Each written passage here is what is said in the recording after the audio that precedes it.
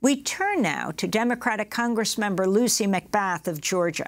During a recent meeting of the House Judiciary Committee, she shared her personal story about accessing reproductive care. Like so many women in America, for years, I struggled to get pregnant. My husband and I, we tried everything that we could do to start a family of our own, and finally, we were successful. I had never been so happy and I prayed for this moment for so many years. I wanted to tell everyone, I just wanted to shout it from all of the mountaintops. For weeks, I began to dream about our life and our future together. And then one day, I woke up covered in blood. And it's hard to describe the agony of a miscarriage.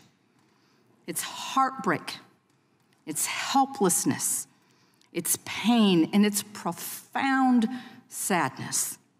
Millions of women suffer from them, and I've heard from many who felt guilty like I did, who felt as though that we weren't worthy of having a child. Those are the same feelings that crept through my mind, and every time I've had these difficult discussions with other women, I remind them that they are strong and that they are powerful beyond measure, and that their worth is far more than their ability to procreate.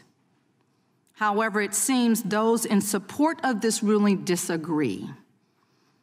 After my second miscarriage, I wondered in my grief again if God had decided I was never meant to be a mother.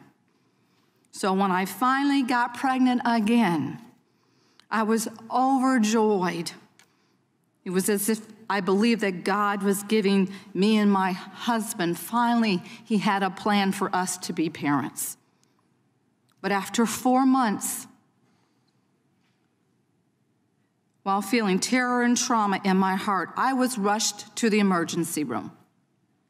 There, with my doctor and my husband, I learned that I had suffered a fetal demise or a stillbirth.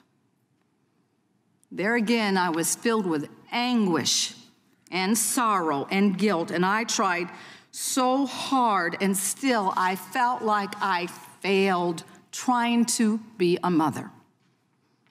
My doctor thought it would be better to and safer to end the pregnancy naturally without the medicines so commonly used. So for two weeks, I carried my dead fetus and waited for me to go into labor.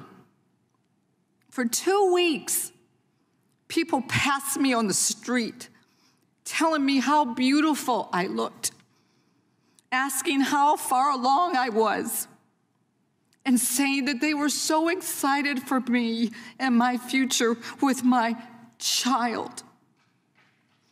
For two weeks, I carried a lost pregnancy and the torment that comes with it. I never went into labor on my own.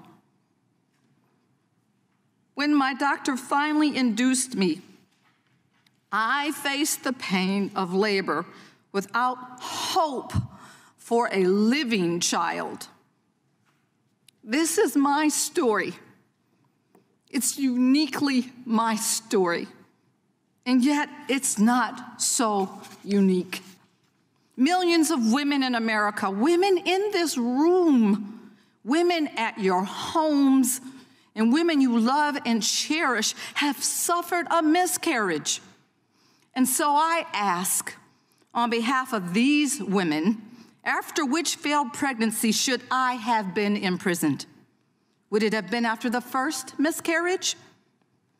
After doctors used what would be an illegal drug to abort the lost fetus? Would you have put me in jail after the second miscarriage? Perhaps that would have been the time. Forced to reflect in confinement at the guilt I felt, the guilt that so many women feel after losing their pregnancies. Or would you have put me behind bars after my stillbirth? after I was forced to carry a dead fetus for weeks after asking God if I was ever going to be able to raise a child. And I asked because the same medicine used to treat my failed pregnancies is the same medicine states like Texas would make illegal. I ask because if Alabama makes abortion murder, does it make miscarriage manslaughter? I ask because I want to know if the next woman who has a miscarriage at three months if she will be forced to carry her dead fetus to term. So, for the women in your life whose stories you do not know, for the women across the country whose lives you may not understand, and for the women in America who have gone through things you simply cannot comprehend, I say to you this women's rights are human rights. Reproductive health care is health care.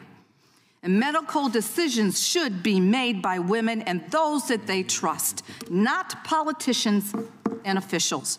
We have a choice. We can be the nation that rolls back the clock, that rolls back the rights of women, and that strips them of their very liberty.